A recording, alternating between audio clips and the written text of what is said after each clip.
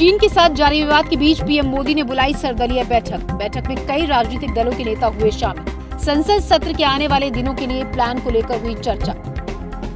लोकसभा में रक्षा मंत्री के बयान के बाद से विपक्ष हुआ हमलावर। कहा इस मसले पर चर्चा होनी चाहिए, साथ ही मोदी सरकार पर चीन के बैंक से पैसा लेने का भी लगाया आरोप। किसानों के लिए लाए गए बिलों को लेकर राजनीति गर्म। बीजेपी अध्यक्ष जेपी नड्डा ने कांग्रेस पर साधा निशाना। कहा कांग्रेस पहले समर्थन में थी अब राजनीति कर रही है। लद्दाख में चीन के साथ जारी विवाद के बीच मोदी सरकार ने सर्वदलीय बैठक बुलाई इसमें कई राजनीतिक दलों ने हिस्सा लिया। साथ ही इसमें आने वाले दिनों में संसद सत्र में क्या प्लान होगा इस पर भी बातचीत की। भारत चीन के बीच लगातार बिगड़ते हालात के बीच मोदी सरकार ने देश में एक राय बनाने के लिए सर्वदलीय बैठक बुलाई। इस सर्वदलीय बैठक में पीएम मोदी रक्षा मंत्री राजनाथ सिंह समेत कई पार्टियों के बड़े नेताओं ने भाग लिया। बैठक में विपक्षी दलों के नेताओं ने गिरती हुई जीडीपी का मुद्दा उठाया। तो वहीं सरकार ने विपक्षी दलों से पार्लियामेंट में सभी बिलों को पास करने में मदद की अपील की। दरअसल 18 दिनों तक चलने वाले इस मानसून सत्र में मोदी सरकार द्वारा पिछले छह महीनों के दौरान पारित किए गए कई अध्यादेशों और विधेयकों को संसद के पटल पर रखा जा सकता है। इनमें कुल 11 अध्यादेश और 18 बिल शामिल हो सकते हैं। इसमें देश की आर्थिक व्यवस्था को सुधारने के लिए की गई घोषणाओं के साथ कृषि, श्रम कानून, उद्योग के अलावा आत्मनिर्भर भारत आदि के तहत जारी आर्थिक पैकेज से संबंधित अध्यादेश और कुछ अहम बिल शामिल होने का अनुमान है। भारत चीन के विवाद पर कांग्रेस ने एक बार फिर से मोदी सरकार को घेरा। कांग्रेस ने कहा कि गृह मंत्री ने कुछ कहा और राजनाथ सिंह घुसपैठ की बात कर रहे हैं। साथ ही कांग्रेस ने यह भी आरोप लगाया कि सरकार ने चीन के बैंक से लोन लिया लोकसभा में रक्षा मंत्री की ओर से मंगलवार को एलएसी पर तनाव को लेकर दिए बयान के बाद विपक्षी दल और ज़्यादा हमलावर हो गया है। वहीं एक बार फिर कांग्रेस ने मोदी सरकार पर तीखा हमला किया है। कांग्रेस प्रवक्ता पवन खेड़ा ने सरकार की ओर से दिए गए दो अलग अलग बयानों का ज़िक्र किया और कहा कि लद्दाख की सीमा पर भारत और चीन के बीच तनाव बना हुआ है। चीन हमारी सीमाओं में घुसपैठ कर रहा है। एक प्रधानमंत्री ने देश के साथ झूठ बोला, ये वही तारीख है 19 जून। ना केवल चीन को 19 जून को प्रधानमंत्री ने क्लीन चिट दी, बल्कि 19 जून को चीन स्थित, बीजिंग स्थित एशियन इंफ्रास्ट्रक्चर इन्वेस्टमेंट बैंक से पैसे भी लिए। ये इस सरकार का ढोंग आपके सामने है। कि किस तरह से आप एक तरफ़ तो कहते हैं कि हम आर्थिक रूप से भी चीन से रिश्ते समाप्त करना चाहते हैं। ट्रेडर एसोसिएशंस को कहते हैं कि भाई चीन का सामान बॉयकॉट करो। आम आदमी से सारी उम्मीदें हैं मोदी सरकार को। और जब खुद पर आती है तो चीन के बैंक से पैसे लेते हैं। वहीं कांग्रेस ने मांग करते हुए कहा कि इस मसले पर चर्चा होनी चाहिए। साथ ही सरकार पर चीन के बैंक से पैसे लेने का आरोप भी लगाया। चौंकाने वाली जो बात दूसरी आई वो आज एमओएस होम श्री नित्यानंद राय ने जो उत्तर दिया है, घुसपैठ को लेकर, पाकिस्तान और चीन द्वारा घुसपैठ को लेकर, उसमें एक लाइन का उत्तर है चीन को लेकर, कि पिछले छः महीने में चीन की तरफ़ से भारत में कोई घुसपैठ नहीं हुई है। इससे ज़्यादा चौंकाने वाली बात मैंने और आप में से किसी ने भी नहीं सुनी होगी। पहले तो प्रधानमंत्री आकर झूठ बोलते हैं, फिर रक्षा मंत्रालय की वेबसाइट जो कि सच निकाल देती है अगस्त की सात तारीख को। उसको हटा दिया जाता है। उस वेबसाइट में स्पष्ट तौर पे लिखा था कि कहाँ कहाँ किन किन पॉइंट्स पर चीन ने घुसपैठ की है।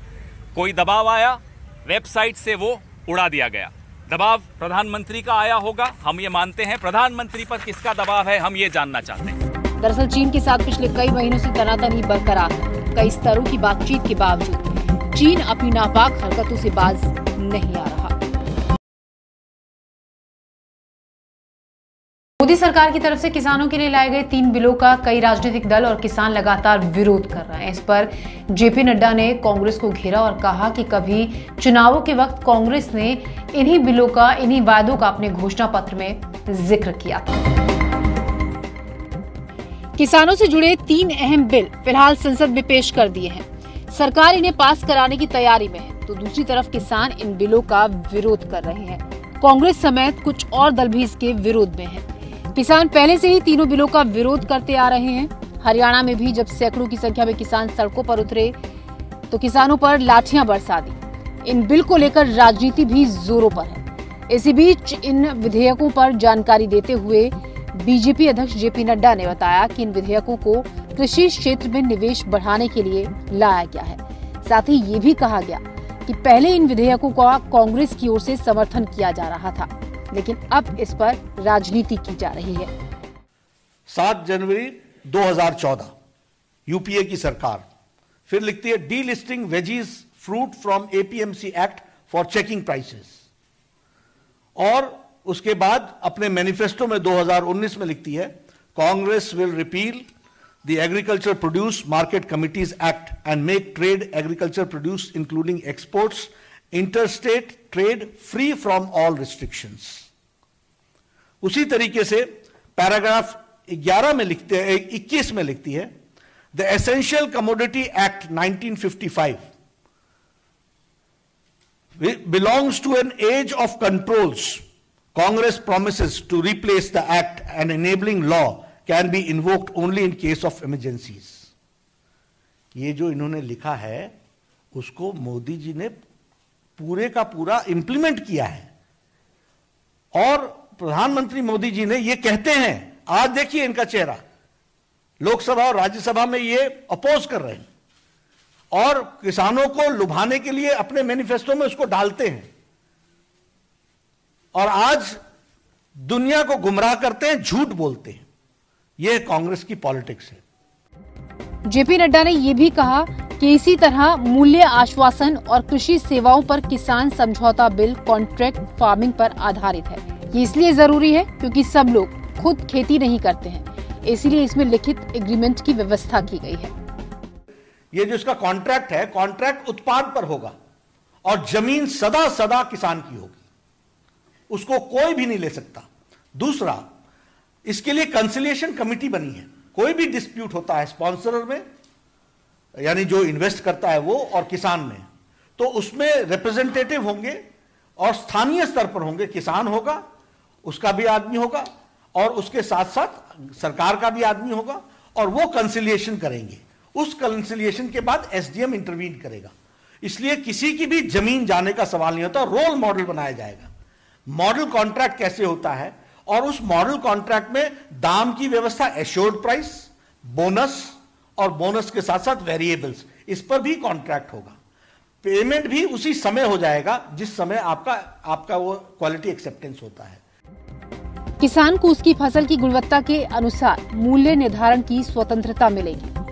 लेकिन किसान इसमें अपना नुकसान देख रहे हैं। किसानों को सबसे बड़ा डर मंडी एक्ट के प्रभाव को सीमित करने वाले अध्यादेश कृषि उपज, वाणिज्य और व्यापार को लेकर है। इसके ज़रिए राज्यों की मंडी एक्ट को केवल मंडी परिसर तक ही सीमित कर दिया गया है। यानी कि अब कहीं पर भी फ़सलों की खरीद बिक्री की जा सकेगी। बस फ़र्क कितना होगा कि मंडी में खरीद बिक्री पर मंडी शुल्क लगेगा, जो कि बाहर शुल्क से छूट होगी। प्रदेश के मेरठ से पुलिस ने अब्दुल्ला नाम के एक शख्स को गिरफ़्तार किया। अब्दुल्ला अमन बनकर नाबालिग लड़कियों को अपने प्रेम जाल में फंसाता था और उन्हें अगवा करता था। पुलिस की पकड़ में जब ये शख्स आया तो इसने कई खुलासे किए और जवान दिखने के लिए ये शख्स क्या क्या करता था। आइए देखते हैं सिर्फ़ उत्तर प्रदेश के मेरठ में लव जिहाद का चौंकाने वाला मामला सामने आया है। आरोप है कि मेरठ के कंकरखेड़ा थाना क्षेत्र में अब्दुल्ला नाम का एक शख्स अमन बनकर नाबालिग लड़की को प्रेम जाल में फंसाता है। और फिर उसका अपहरण करता है। लव करने वाला अब्दुल्ला उर्फ़ अमन का खुलासा। उस वक्त हुआ जब इसने सितंबर में लड़की का अपहरण किया और आज तेरह दिन बाद जब लड़की बरामद होती है तो उसने ये भंडाफोड़ किया। पता चला है कि ये शख्स जो अधेड़ है, वो नकली बाल लगाता था ताकि वो जवान दिख सके। अब्दुल्ला उर्फ़ अमन नकली बाल जेब में रखता था। बताया ये भी जा रहा है कि इसकी तीन बीवियाँ भी हैं।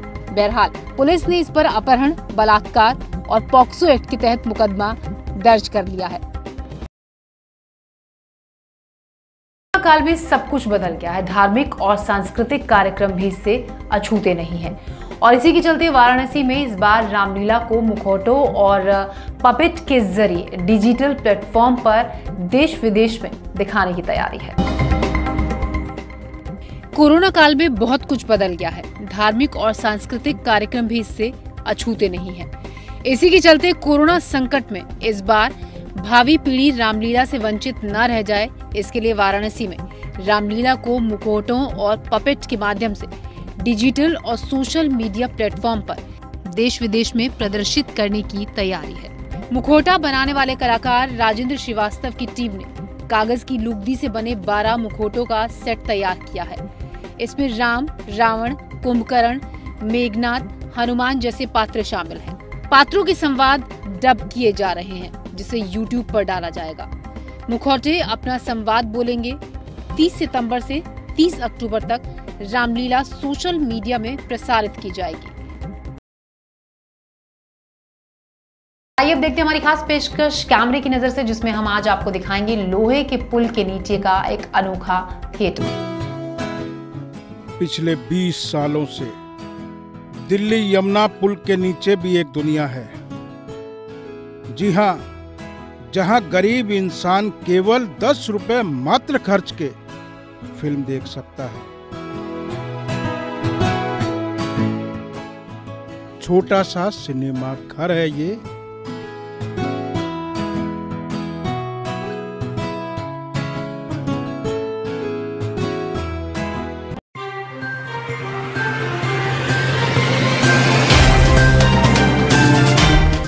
Subscribe now and press the bell icon.